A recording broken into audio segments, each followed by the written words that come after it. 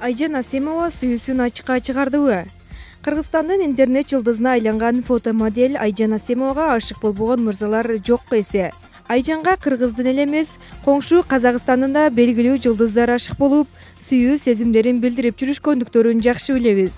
Мына ошол мырзаларды четке кагып өзүнүн сүйүүсүн коомчулукка ачыкка чыгарган сулууга биз бакыт каалайбыз айтмакчы айжандын жигити кыргыздын эле мырзасы тамашоочу эрмек таалайбеков бойдокчулук менен коштошот. Белгилүү тамашоочу жана кыргыздын бир нече тасмаларында роль жараткан актер эрмек таалайбеков бир жылдан ашык кыз жигит мамилесинде болуп сүйүктүүсү бекзада менен баш кошуу алдында турат. Сүйүшкөн түгөйлөрдүн тою ноябрь айында болот.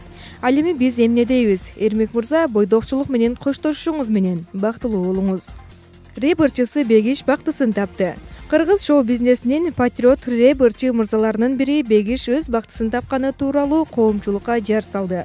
Учурда сүйлөшүп жүргөн кызы менен мамилеси олуттуу экенин жана үйлөнүү тууралуу ойлору пайда болуп жатканын кабарлаган бегиш өзүнүн баракчасына жазылган окурмандардын баарына бакыт каалады. Эмне дейбиз? Түгөйлөрдүн мамилелери тойго жетсин. Ырчы кыз сайкал жолдошу менен үлпөт тойго камданууда таланттуу жаш аткаруучу кыздардын бири кыз сайкал кабылова жай мезгилинде өзүнүн жигити эрнест аттуу мырзага турмушка чыккан.